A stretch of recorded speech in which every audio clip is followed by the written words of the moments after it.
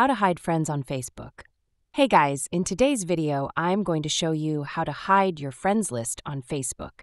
So make sure to watch this video till the end and let's get started.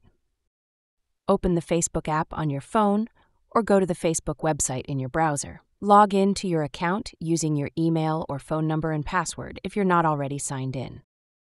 Tap on the menu icon, three horizontal lines, at the bottom right on mobile, or click your profile picture at the top right corner on desktop. Scroll down and choose Settings and Privacy. Then select Settings from the drop down menu.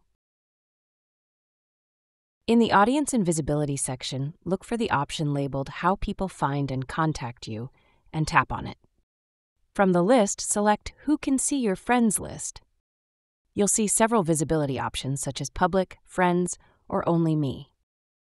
Choose Only Me if you want to completely hide your friends list or customize it further by selecting Specific Friends or Custom to control who can view it.